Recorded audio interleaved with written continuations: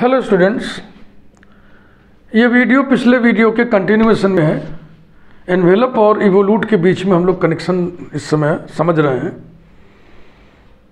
Envelope of family of normals is the evolute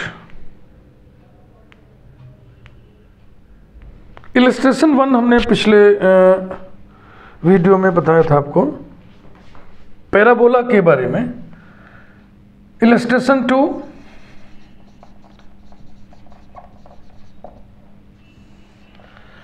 ellipse को हम consider कर रहे हैं।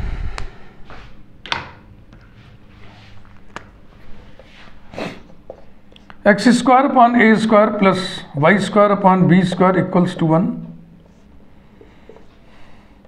parametric equations x equal to a cos t y equal to b sine t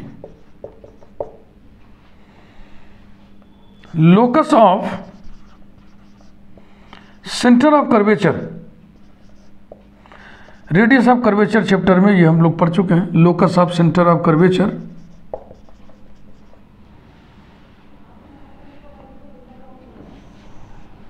ये इसका निकलेगा।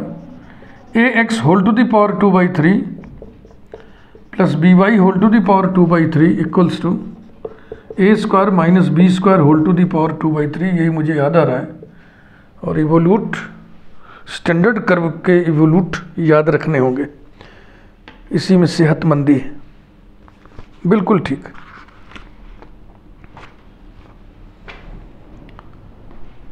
ये तो हम पढ़ चुके हैं। अब हम निकालने जा रहे हैं। Envelope of family of normals ये भी इवोल्यूट होता है। Family of normals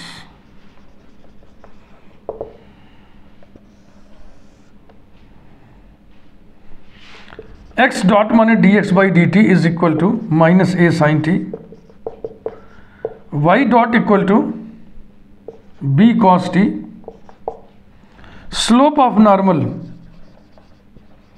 slope of normal tangent के नॉर्मल के रेसिप्रोकल का negative slope of normal is minus x dot upon y dot equal to minus x dot negative है तो minus x dot positive हो जाएगा। A sine t upon b cos t equation of normal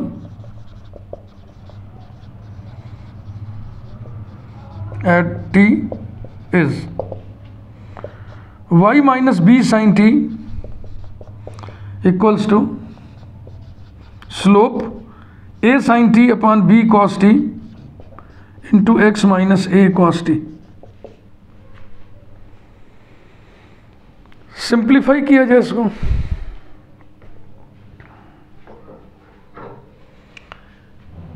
Envelopes of family of curves ये जो playlist चल रहा है, इसका ये आखिरी वीडियो है। लास्ट वीडियो है। ये प्लेलिस्ट यहीं पे पूरा हुआ। इस वीडियो के साथ।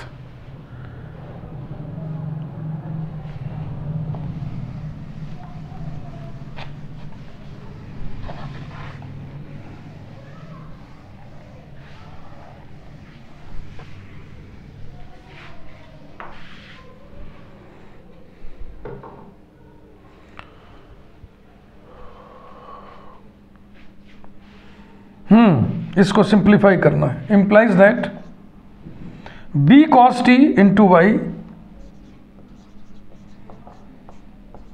minus b square sine t cos t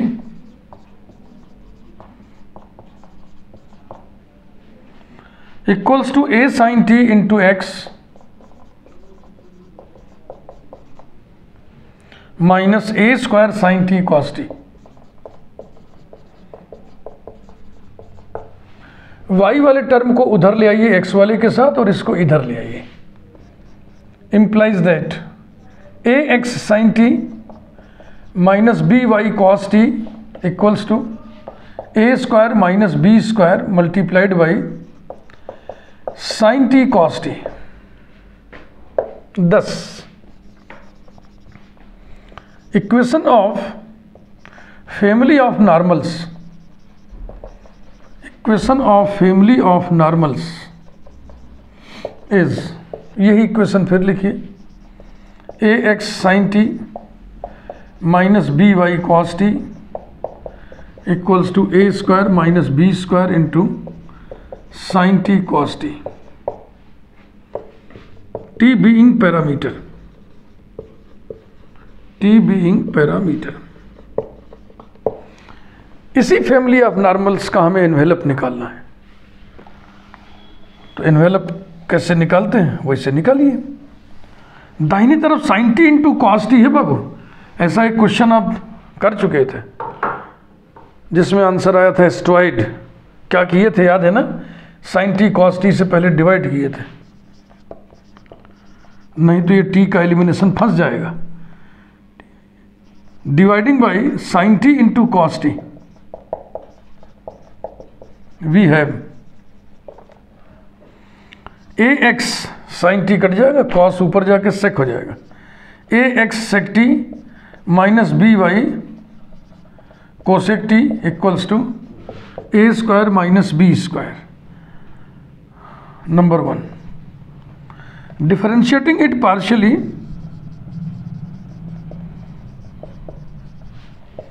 differentiating it partially with respect to parameter t, we get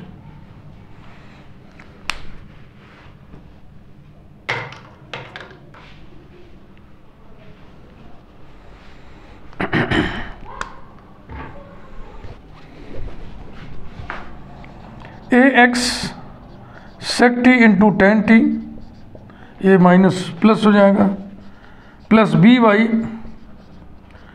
cosec t into cot t equals to zero implies that a x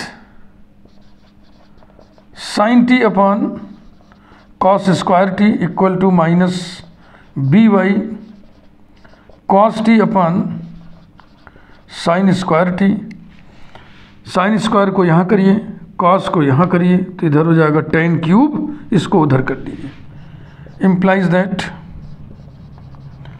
tan cube t equal to minus b y upon a x implies that tan t equal to minus b y whole to the power one by three upon a x whole to the power one by three number two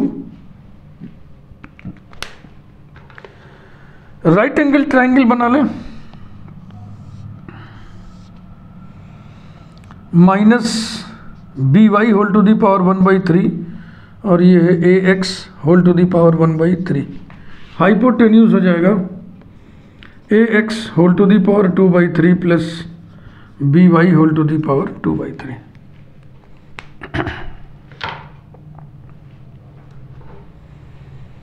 देखो tan T negative है, इसका मतलब T obtuse angle है और T अगर obtuse angle है तो उसका साइन पॉजिटिव होगा कॉस निगेटिव होगा। हाँ? हाँ। ऑप्ट्यूज एंगल में साइन पॉजिटिव आता है और ये नेगेटिव आता है।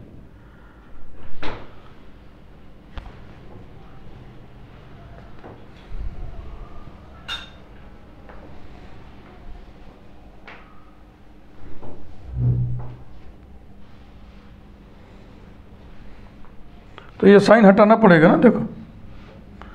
टी अधिक कोण है तो अधिक कोण में जो साइन है, वो पॉजिटिव होता है।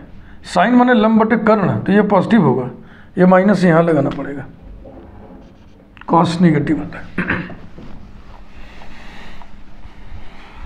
हमें याद आ रहा है कि किसी एक वीडियो में ये बात और उठी थी। Eliminating t between one and two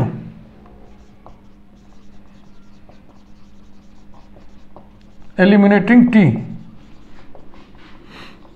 between 1 and 2 we get ax into sec t minus by into cosec t equal to a square minus b square ध्यान से सब देख लें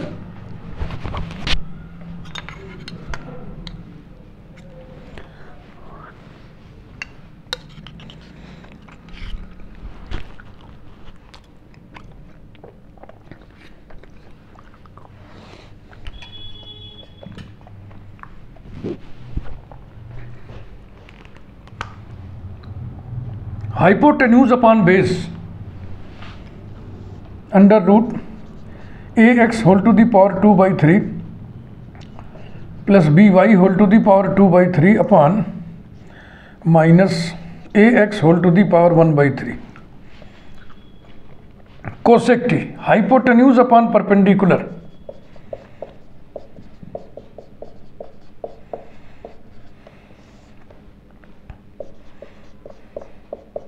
रहा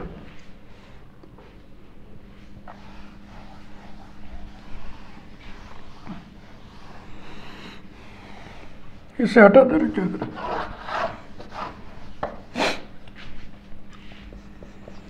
इम्प्लाइज दैट देखो यहाँ माइनस आ जाएगा और यहाँ भी माइनस है। दोनों माइनस को कॉमन लेके उधर फेंक देंगे। A x whole to the power two by three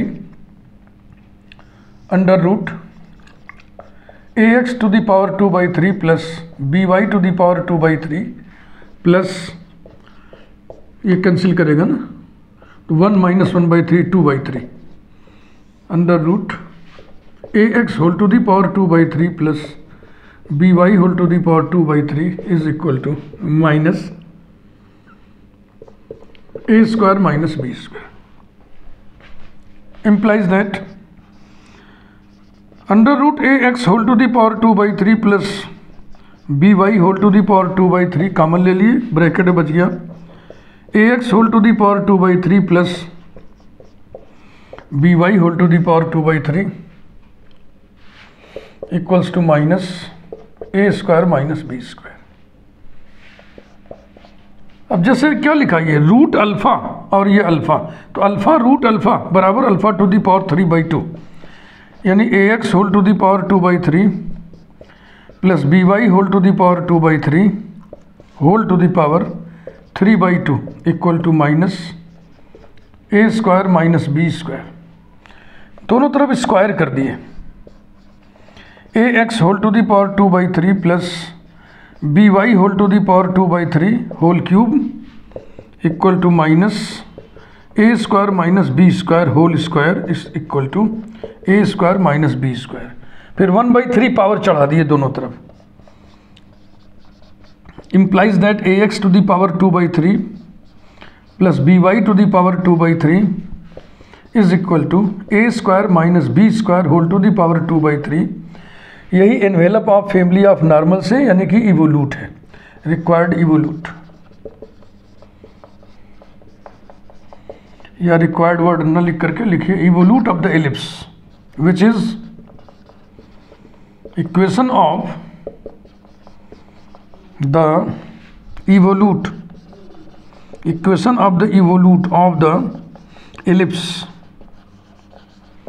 और ये इक्वेशन स्ट्वाइड के इक्वेशन जैसा है। तो ज़ाहिर सी बात है इसका फिगर स्ट्वाइड नहीं कहिए हाइपोसाइक्लोइड कहिए। हाइपोसाइक्लोइड के फिगर जैसा है। वाकई ये हाइपोसाइक्लोइड है।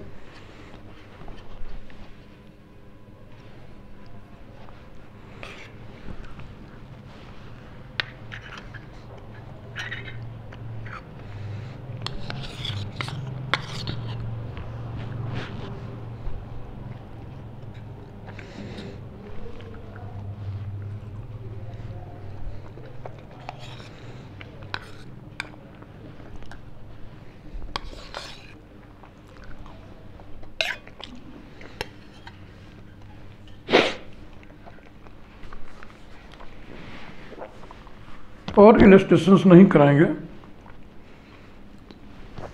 क्योंकि हमें एक अलग प्लेलिस्ट बनानी ही है इवोलूट की इवोलूट्स की। उसमें रेडियस ऑफ़ कर्वेचर चैप्टर में जितना मसाला दिया हुआ है इवोलूट का एनवेलप चैप्टर में जितना मसाला दिया हुआ है इवोलूट का, सबको हम मिक्स करेंगे। और इस प्रकार से एक अच्छा सा प्लेलिस्ट बनेगा जिसमें जैसे कि हम पैराबोला उठाएँगे और उसका इवोल्यूट हम कर्वेचर वाले कॉन्सेप्ट से भी निकालेंगे और एनवेलप वाले कॉन्सेप्ट से भी निकालेंगे। तो एक साथ कंपेरेटिव स्टडी आपकी हो जाएगी तो आपको दोनों एक साथ तैयार हो जाएगा। ऐसे क्या होता है कर्वेचर चैप्टर में बच्चा पढ़ा, फिर उसके काफ़ी दिन बाद इस चैप्टर में पढ़ा, दोनों दूर दूर हो गए। एक ही जैसी चीज़ें हैं इवोल्यूट ही है, लेकिन अलग अलग जगहों पर पढ़ने से न वो तैयार, न वो तैयार, न दोनों में कोई कनेक्शन का कोई भान रह जाता है। इसलिए मैंने ये सोचा है एक अलग से हम प्लेलिस्ट बनाएँगे तो ज़्यादा यहाँ पर इलिस्ट्रेशन के नाम पर एग्ज़ाम्पल कराना ठीक नहीं है। मैं योगेंद्र बहादुर सिंह, अपने यूट्यूब चैनल गणितपुर में आप सभी का एक बार फिर स्वागत कर रहा हूँ। और हमारे इस मिशन तेरह तुझको अर्पण से जुड़ने के लिए धन्यवाद। आप औरों को भी जोड़ने की कोशिश करें। फ्री ऑफ़ कास्ट ये स्टूडेंट्स के लिए एक सुविधा हम उपलब्ध करा रहे हैं यूट्यूब चैनल पे।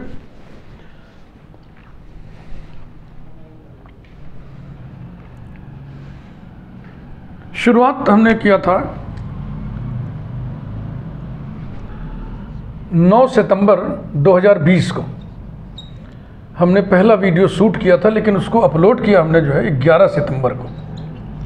नया नया काम था, इसलिए अपलोड करने में दो दिन लग गया हमको उसको ठीक ठाक करने में। और ये जो वीडियो आपके सामने है, जो हमने आपको पढ़ाया अभी, ये है वीडियो नंबर 995 नौ सौ पंचानवेवा वीडियो है ये। और लगभग एक साल चार महीने होने को हैं। आज सात जनवरी है। एक साल चार महीने को होने को है। ये नौ सौ पंचानवेवा वीडियो हमने ये उसको बनाया है। और ये जो envelopes of family of curves playlist हमारी है, इस प्लेलिस्ट की खूबी ये है कि ये शॉर्टेस्ट टाइम में ये पूरी हो गई। पहले दिन दो वीडियो बनाया, दूसरे दिन दस वीडियो बनाया, और आज फिर दो वीडियो बनाया हमने। दो वीडियो हमने बनाया। पाँच जनवरी बाईस को, दस वीडियो हमने बनाया छः जनवरी बाईस को, और दो वीडियो हम आज बना डाले, सात जनवरी बाईस को। इस तरीके से कुल 14 वीडियोस हैं इसके एनवेलप्स के। और एक दिन में सर्वाधिक वीडियो बनाने का यही मेरा रिकॉर्ड है, दस वीडियोस। इससे अधिक वीडियोस मैं नहीं एक दिन में आज तक बनाया हूँ, ना बना भी नहीं पाऊँगा। चलिए। बाय बाय ध्यान रहे, एक बार मैं फिर आपसे रिपीट कर दूँ कि इवोल्यूट की पूरी मुकम्मल पढ़ाई इसमें नहीं हुई है। केवल हम आइडिया दे करके, दो इलस्ट्रेशन देख करके छोड़ दिए हैं। क्योंकि अब इवोल्यूट के बारे में विस्तार से अगर आपको पढ़ना है तो आप मेरी प्लेलिस्ट देखिए, जिसका टाइटल है evolutes thank you very much